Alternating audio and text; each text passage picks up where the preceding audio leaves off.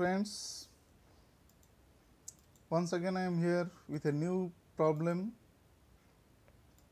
If you like my videos, please like, share and subscribe my YouTube channel Dr. Shyam Sundar Agrawal.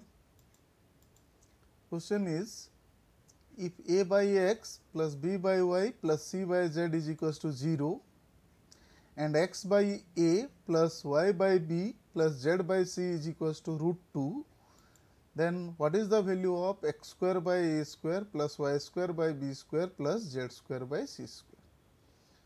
So, two values are given a by x plus b by y plus c by z is equals to 0 and x by a plus y by b plus z by c equals to root 2. Then we have to find out the value of x square by a square plus y square by b square plus z square by c square is what. So, let us find out x by a plus y by b plus z by c is equals to root 2 it is given to us.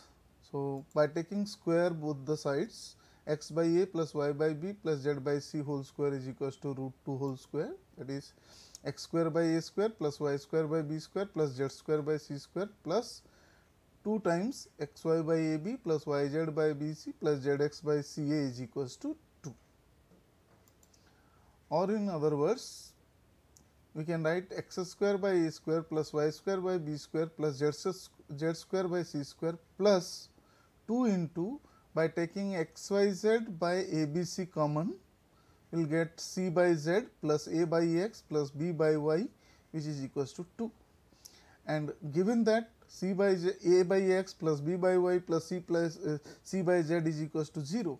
So, by putting that value is 0 so, x square by a square plus y square by b square plus z square by c square plus 2 times x x y z by a b c into 0 is equals to 2 that means x square by a square plus y square by b square plus z square by c square is equals to 2.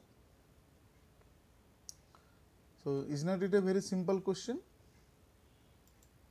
Thanks a lot for watching my videos. If you like my videos, please like, share and subscribe my YouTube channel Dr. Shyam Sundar Agrawal.